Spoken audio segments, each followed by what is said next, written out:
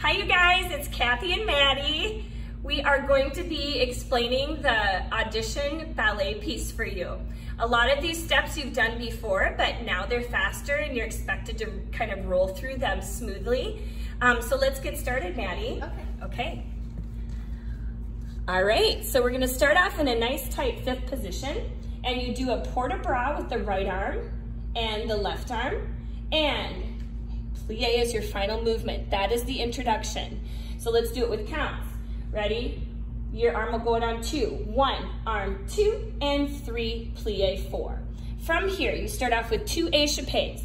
One, two, three, four, five, six, seven, eight, seesaw five, six, changement seven, eight, A échappé one, two, three, four, seesaw five, six, and seven, eight, and one port de two, three, hold four, chaîné, five and six, plie, seven, fifth position, eight, and one, two, three, four, five and six, plie, fifth position, seven, eight, tendu one, hold two, port de bras three and four, to the corners, five, hold six, seven and eight, to the front, tendu one, plie two, turn three, lunge on four, and Close up on five, six, and tendu seven, eight. Port de bras, four counts, two, three, four.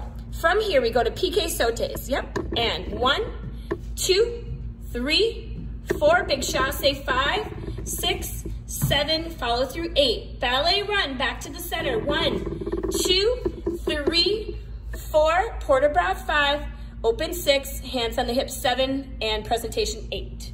Give a nice like head or something like that. Yeah. All right? That's all it is. So good luck. We have both the breakdown and the, the choreography with music for you. So good luck, everybody. Bye. Bye.